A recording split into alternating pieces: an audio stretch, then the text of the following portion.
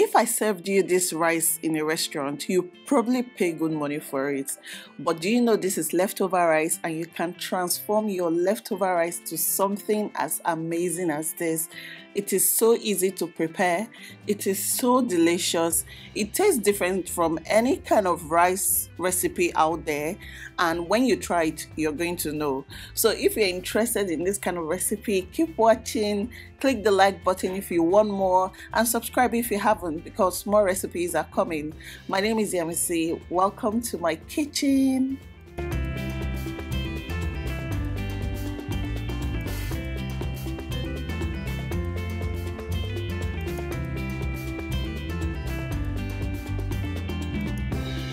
I will highlight a few of the ingredients. So this is the rice I'm using for this recipe. This is basmati rice. When I did my last stir fry video, I got a lot of requests from people wanting to know what type of rice I used and this is the exact rice that I use.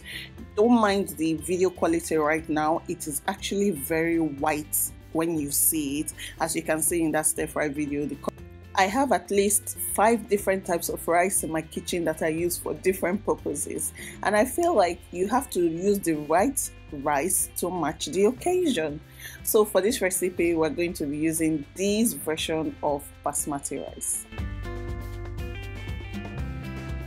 The next ingredient that is going to affect the taste of this recipe is your shrimps. You can use chicken, um, and I think you can use beef but they're just going to taste different.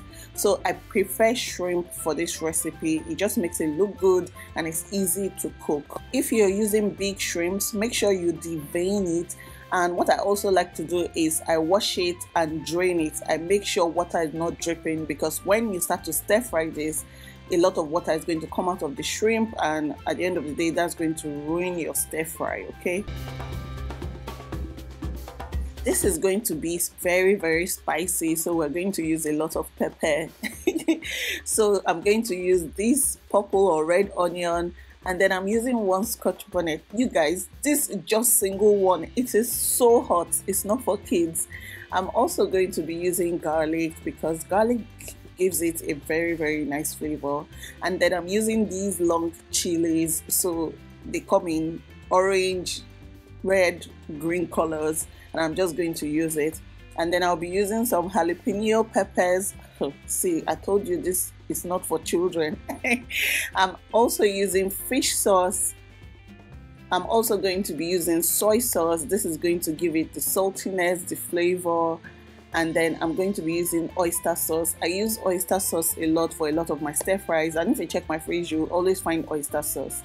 I'm also using some butter to give it more flavor the most important flavor we want to highlight in this dish is basil. So we're using basil leaves. They smell a bit like scent leaves, so sometimes you can always substitute scent leaf for basil. But if you can find basil, please use it. It is what this dish requires and it is going to give you lovely aroma, distinct flavor, and it is going to be so, so good. Now it's time to prep, prep, prep. So you can just take everything and put it in your processor or in your blender and blend it into chunks. But I really wanted to see the color of the pepper and just um, the onions and everything. So there are different ways you can make it. You can just put it in your mortar and use the pestle to just pound everything together. Any methods. I just don't want it to be a sauce. So I want to be able to see everything in the rice. So we had rice and stew a few days ago and I just put the leftover rice in the fridge. But we've not had electricity in a while for some days now and I'm like let's bring out that rice and eat it. By the time I whipped this up it just looked like a new meal that I've just made and this is one fun way of repurposing dishes that you make. Now I'm just going to chop the garlic into little pieces and also chop the onions and set them aside. I want everything to be prepped and set aside because this is a very quick stir fry and the thing with stir fry dishes is they happen very fast. So immediately that pan goes on the cooker, it is go go go and in like five minutes your food is ready. And that's not the time to be looking for onions or to be looking for one ingredient that you forgot to prep. So prep everything so that when you start cooking everything goes in at the right time. For the basil I'm just going to pluck the leaves from the stem. We're not going to chop it into little bits because we're just going to put it whole in the dish and that's what gives it the unique look that it has. So this is the pan I use for my stir fries. It's called a wok and I love it because it heats up so fast. By the time you put it on the cooker in less than a minute, it is very, very hot. So it is perfect for stir fries. The first thing I'm going to do is put the butter in the pan and then I'll put some olive oil. This is just going to give it a very, very lovely flavor. You can use vegetable oil if that's what you have, or you can even just omit the butter. I just wanted it to be very indulgent.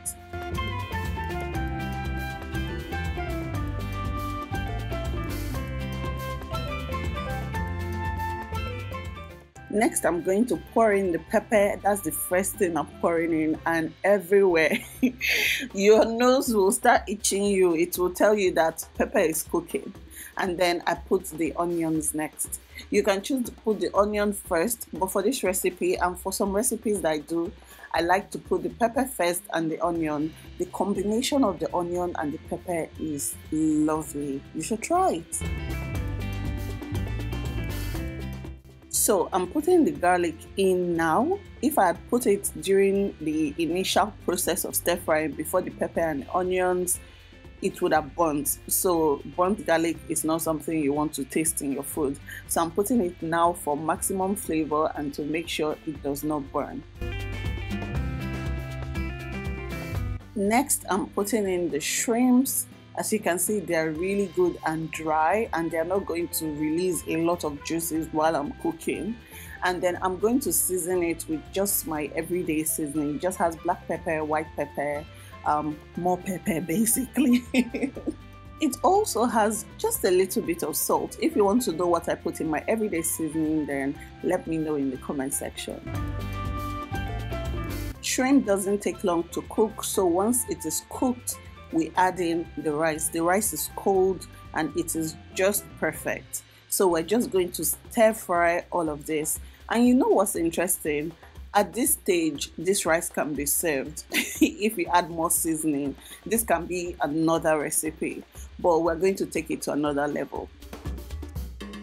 The first seasoning I'm going to use is soy sauce it gives it a good color and it also tastes a bit salty. So always taste your sauces so that you know what they do in your dish.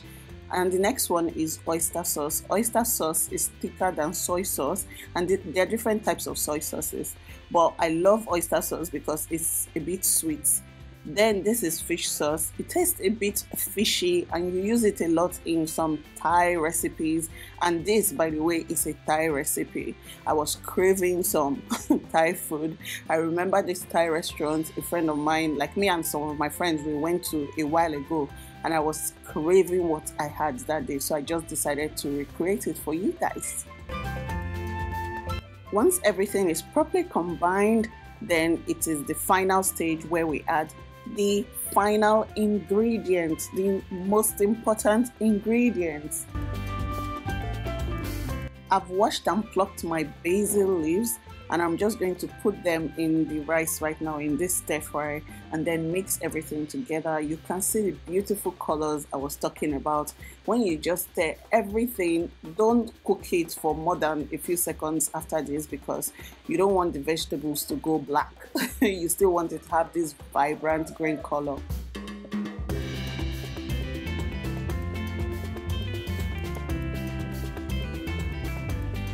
So this is what my spicy basil fried rice looks like. It was so yummy, so delicious.